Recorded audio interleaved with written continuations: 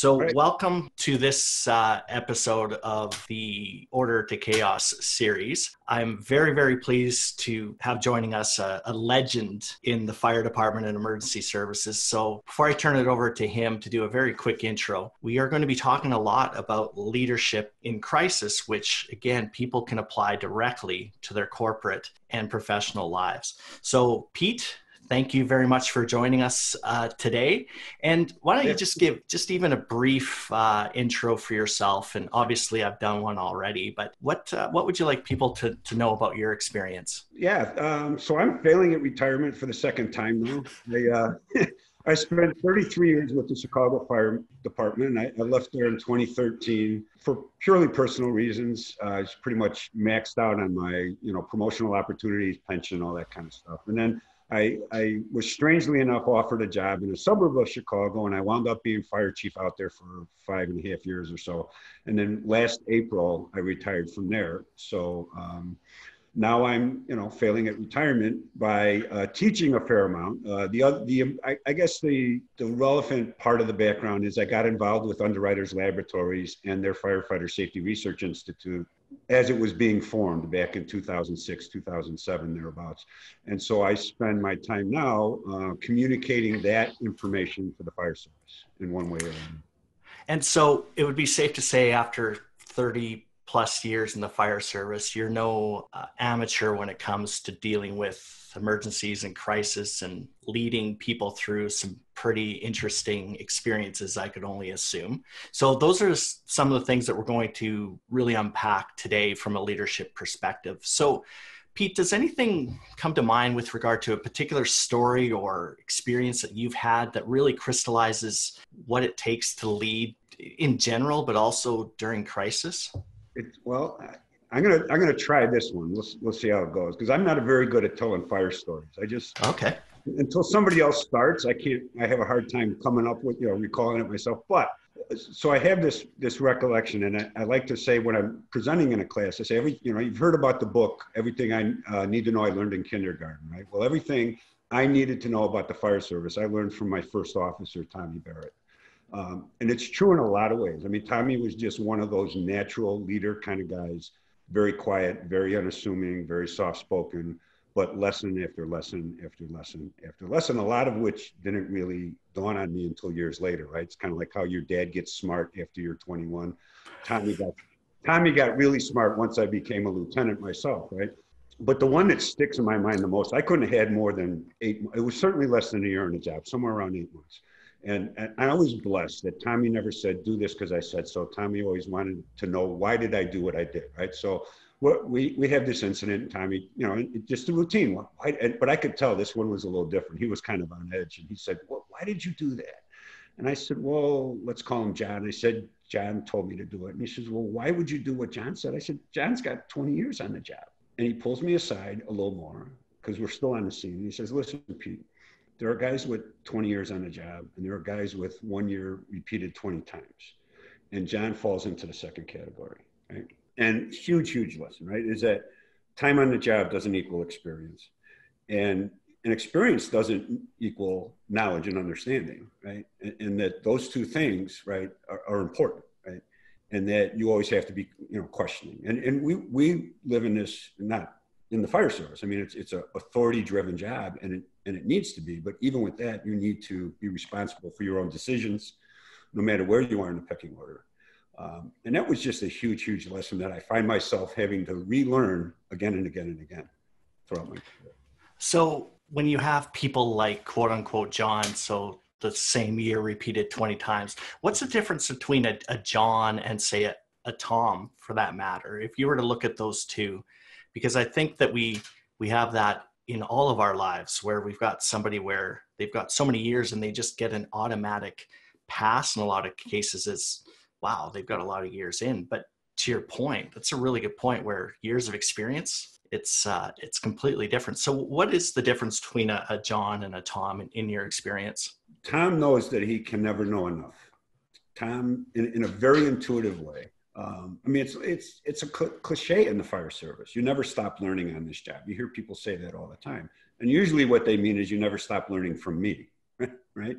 Uh, but Tom understood that that you just can't know enough, that you're always ignorant, and that uh, you know because so many things touch our job, right? So many things are unknowable that it's it's just not possible, right? So so if you're if you're if you stay very very conscious of the fact that you don't know enough and you need to be absorbing information all the time, then you really are always learning. But but once you get comfortable, once you get you know that feeling that I know what I'm doing and I can handle this and and I got it down, then you're you're either becoming dangerous or irrelevant in some cases, right? I mean, you might do your one little narrow aspect of the job really well, but uh, the fire service needs generalists, not specialists.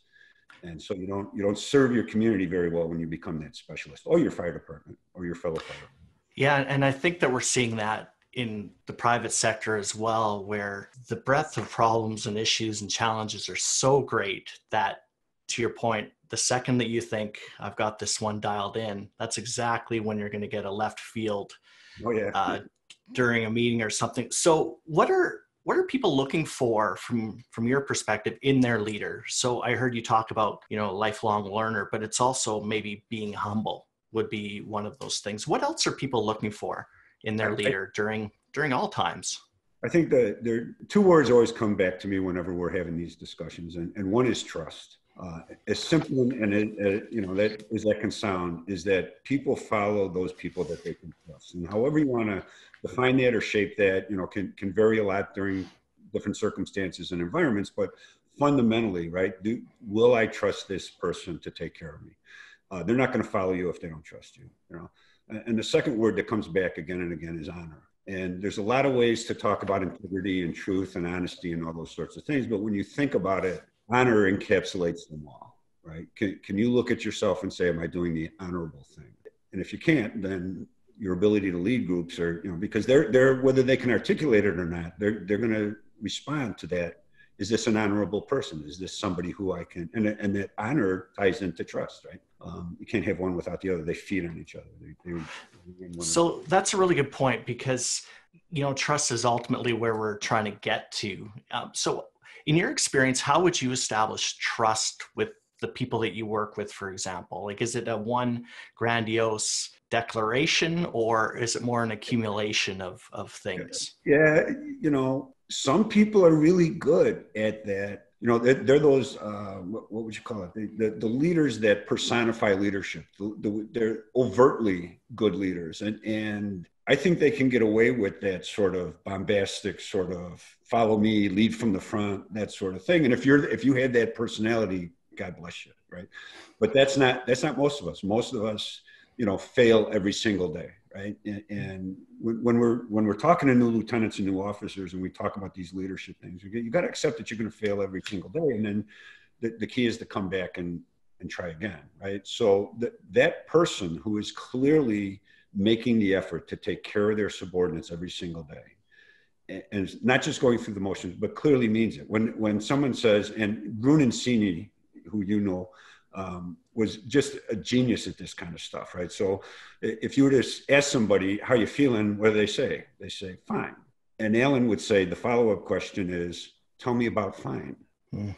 So and now now you've established that you really do care, right? It's not just this normative sort of exchange we go through in, in social discourse. It's, oh, tell me about fine. Um, now you really do care, right? Now I know, I really, I want to hear how, how are you doing? Tell me about that. Um, right. yeah. And it, and it was those sorts of things that, that Tommy was really good at, right? It, that he really did care, you know, that, that you understood what you were doing and why.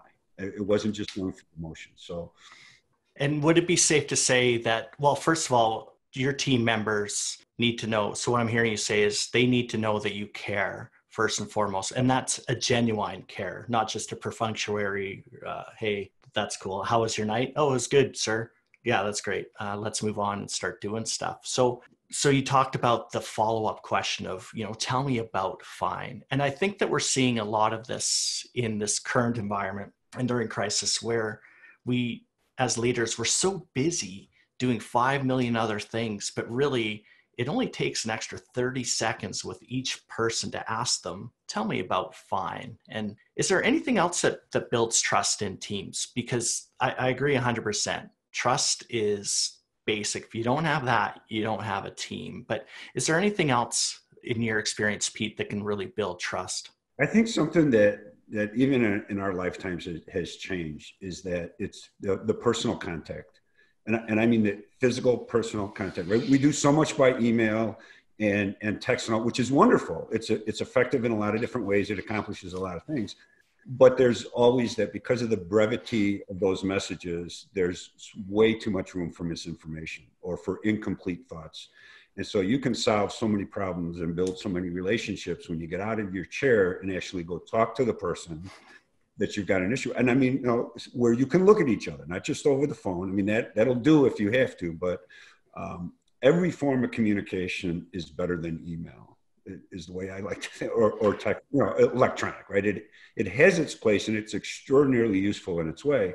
Um, but when it gets in the way of personal relationships, uh, which it inevitably does, um, then you have that breakdown. You can't build trust. You can't build confidence. You can't have that stuff if they can't see you and hear you and respond immediately to each other, all that stuff that only personal contact allows you to do. And would you agree that there's something almost like energetic with regard to being in the presence of another person that you can actually sense whether they're being genuine and whether you can trust them, even without being overt about it?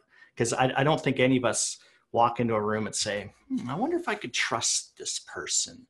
Would it be safe to say that that's something that you can almost feel or not feel through those through those interactions? Absolutely. And in the body language sort of stuff, like you know, you're seeing me from the shoulders up, right? There's all kinds of fidgeting or whatever going on down here um, that that you don't see even when you're doing you know face to face over a, a video, you know, doing doing it online and all that. Um, and so the body language is, is a big part of it, but there's also just those, those little gestures, the handshake, the touch, the, all those sorts of things that, that we use subconsciously to decide, is this a genuine person or not? Right. And you lose that when you don't have the personal contact. So you've got, you've got to find a way to incorporate that into your uh, interaction with your employees, especially your subordinates. Yeah. And, and again, that just goes to show that you care and actually be present and care when you're talking to them. And what about let's flip it now to honor because that means different things to different people and it's kind of a almost a throwback to the old days where we lived with honor. What when you said that, what exactly do you mean? It's not it's not a term you hear used very much, but when when you think about it, to, to me, it, it encapsulates all those other um, similar terms like you know you know you, you have to be honest you have to be forthright right? You have to be trustworthy you, all these things. Well if you had to if i had to find one word for all those things it, it would be honor right? So it, it's it's fundamentally you know it, it's two things. One can i look myself in the mirror and live with this decision or, or what i said? And the second part of it as silly as it may sound is could i look my mother in the eye and say what I just said and get away with it, right? And, mm-hmm. and I mean, even the United States Marine Corps uses that example in terms of, uh, you know, hazing things and, and stuff like that. I said, would you do this in front of your mother? If not, it's inappropriate, right? And uh, I and I I find that so true in so many of our professional relationships, right? If my mom was sitting here, would I be treating this person the way I'm treating them right now? Right. And, and a lot of times the answer yeah. is no. Yeah, or or I'm not sure, or yeah, but, right? Right. As soon as you say yeah, but, well, you know what? You're wrong, right? You're wrong because yeah, yeah. That's what our parents, and we often say our mother, but our, our parents held us to those kind of standards, right? So, would it be safe to say then, because uh, an area we don't talk a lot about our values. And in my experience, you're looking for leaders that really align with your values. And would values fall into honor as well? It's absolutely. And, and this is where I think our discussions about leadership often break down because we're reticent to talk about things like values because we confuse them with morals and, and things mm-hmm. like that. It's really, no, this is, if you can't um, and again, and I got to be careful about this because I, I was never in the, the military at all, but I, you know, and I refer to these Marine Corps lessons a lot because a lot of my peers and a lot of my mentors were uh, in the service in the Marine Corps in particular. And, and so I've drawn a lot of lessons from those sorts of things. You know, they, they like to say that we put the cult in culture. You know, it, they're not afraid to express who and what they are. You know, and, and you can agree or disagree or whatever, but this is who we are, right? And, and if a, as a company, as a fire service, as a fire department, or as in, in this case, as a private company, if, if you can't articulate your company's values, um, you're, you're in serious trouble. You, you really are. And, and, and there has, there has to be a means of doing that, right? And, and if you're trying to lead and motivate and do these other things, and you haven't clearly articulated what those values are, you're going to find yourself not getting very far. You're going to be very frustrated. And and I think in I don't want to speak for you, but in, in my own experience, so many conflicts come down to conflicting values, and often we don't use values as a means to bring people together, right? Like there's more that connects us than disconnects us. And sure. if a team has different val or team members have different values, that's often where you're going to see some conflict. Any thoughts on that? We've gone through this in the fire service during the course of my career where we became a slightly less white male dominated organization, right? We've had to introduce different, you know, different cultures, different races, uh, different genders, the, the whole thing. And it's, it's been a very real part of the fire service during the last 30 years or so. Um, and we often find ourselves talking about, you know, respecting our differences, respecting our differences, respecting our differences. Okay, that's all fine and good, but what's really going to bring us together is when we understand where our commonalities lie. And, and that's what, you know, because we, we get so caught up in, well, your values might be different than mine. Well, you're not going to find any teamwork or any, you know, getting together around that. Work on what, what, what do we all share as human beings? What's common amongst all ourselves, right? And, and, those things are first off much easier to identify, and then much easier to rally around. And, and finally, it's all you got is your innate commonalities, right? And if you're not focused on those things, you're you're ultimately doesn't mean you don't respect those other things, but the, the focus has to become the unity comes when you're focused on on your commonalities and what what do we all share, and that takes you back to the discussion about the corporations or a group's values, right? You have to build those values and articulate those values around what everybody understands to be good and right and true. And, and we're going to revisit that when we talk about decision making here shortly. But I want to switch gears a little bit. And so, Pete, 33 years ago, or let's say you were when you first became an officer, maybe you got a stripe or something like that. What was what was Pete back then thinking as a new leader relative to what Pete has is thinking now, yeah. 30 some years later. and I, I get we only have a certain amount of time. so so when, when Pete got his first in, in, in, the United States, most of the fire service we we uh, get bugles, right? Uh, trumpets. Mm. And uh, so I got my first bugle and uh, or first stripe. And um, so I'm thinking, how am I going to get these guys that are twice my age to listen to what I have to say to them? Because I was uh, I was maybe 27 years old when I became a lieutenant, which at the time was very young in, in a department of my size. Uh, so so that was the big challenge. You know, how do how do I get these guys respect? And and you're always always always always hyper aware of that whole thing right and and then what you find is that you typically try to get their respect by doing what they want to do like letting them have their way, right? And that's that's a big mistake, right? So you mm-hmm. you learn those hard lessons about um, because yeah, and, and, so and so the the guy thirty some years later um, wants to say with with um, to, to all those new lieutenants is you know don't make my mistakes. We we all go through that, but the, I think the big lesson for me and the big difference was is that you ha- you have to show respect to get respect. Mm-hmm and that's a very easy thing to articulate, but it can be an extraordinarily difficult thing to accomplish because you don't know necessarily what that individual, uh, how they feel respected. You have to learn what makes them feel respected. And, and it's hard work. This was one of the very, very late lessons I learned about leadership is that it's hard work. And that's why good leaders are so rare is because they're not willing to put in the effort. It really is like, like any other skill, it requires an extraordinarily amount, uh, an extraordinary amount of effort to get good at it. And if you're looking for some magic sort of formula or you know motivational speech or whatnot, it's about grinding effort. It's hard. Mm-hmm. And trial and error and being deliberate, fine tuning. If that doesn't work, try this kind of thing. Would you agree? Another thing that, that, that I, I learned really late was it doesn't get easier. don't expect it to get easier. Expect it to get harder, right? And uh, you know, I, I, I work out every day, and I, I, at a gym, and there's a the, the trainer that's there. He uh, he he's got a T-shirt he often wears says "Burpees hate you too," you know, because everybody hates doing burpees, right? and because they don't get any easier, at least not for me, right? And, and it's become one of my metaphors for leadership. Leadership is burpees. It, it's hard. It's going to stay hard. It's never going to get easier. Get, suck it up. Get used to it, right? Um, and, and the more comfortable you get with that idea, ultimately the easier it does become because you realize it's going to be a challenge every day, right?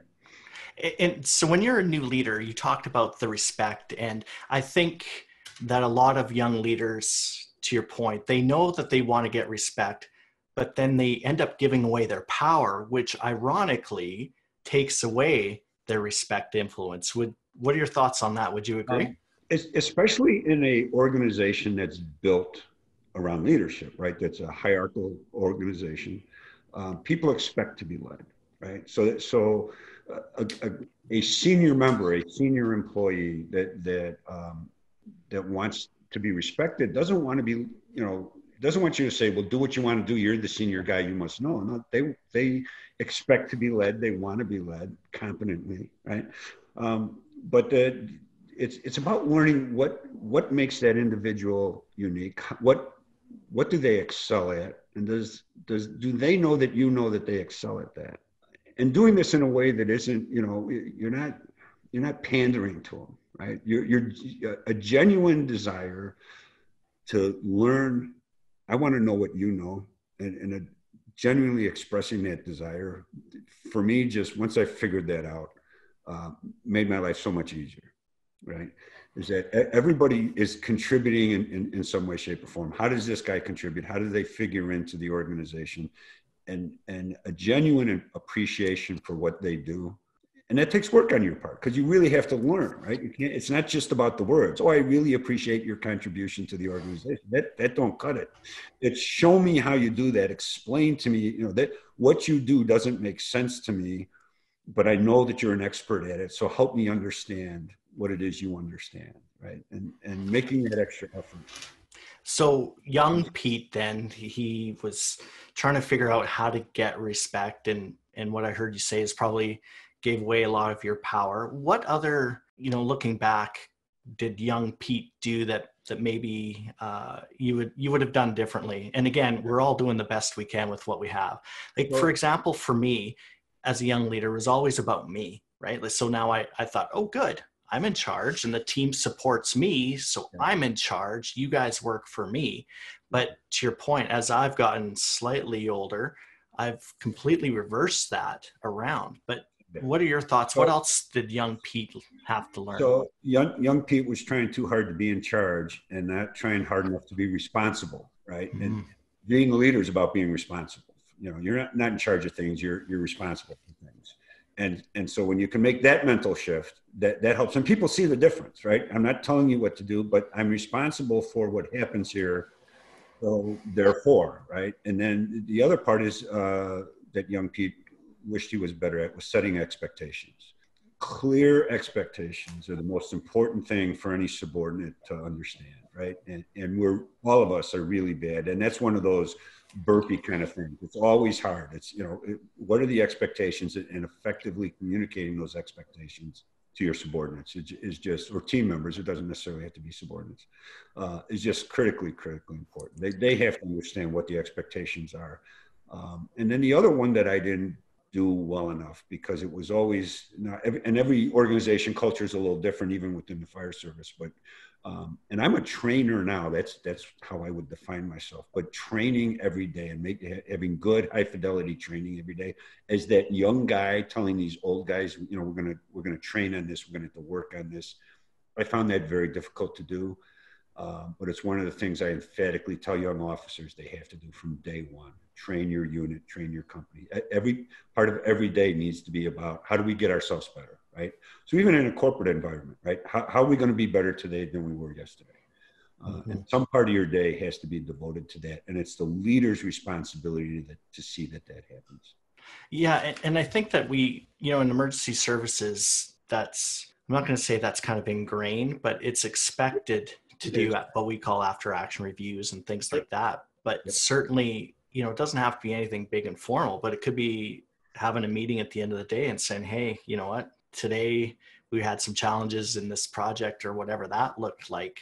Um, sure. I think is is easy. And in fact, I have a little poster in the back here that says 1% improvement every day.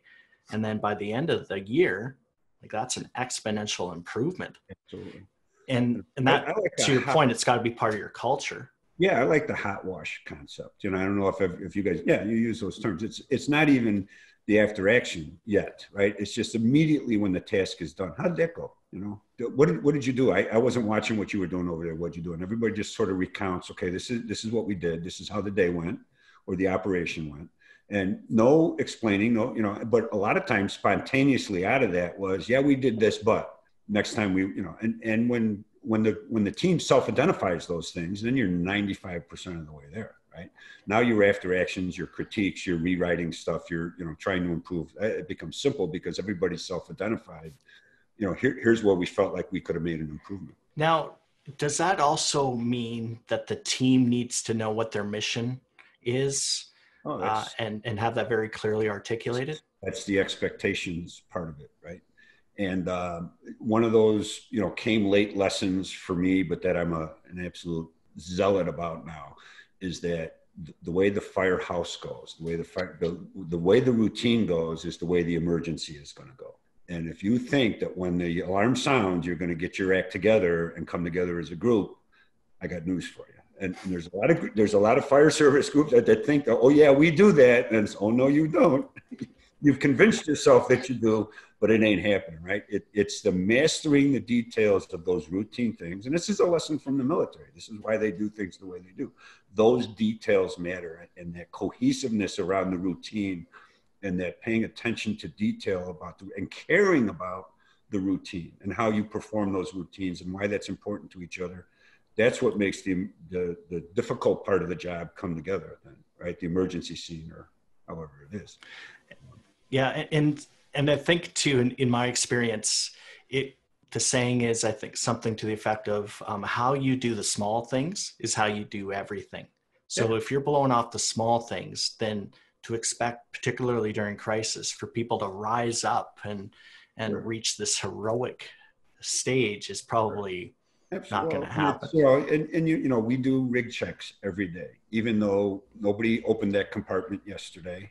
So nothing's moved, but we're still going to open the compartment and we're, we're going to check it. And we do, you know, we wash things every day. We clean things every day. And it's not about making them clean, really, because they're, you know, they just got washed yesterday. Uh, it's about paying attention to the detail, right? It's about minding, minding the detail, minding the things um, that because those little mistakes, those unnoticeable things, are the ones that accumulate.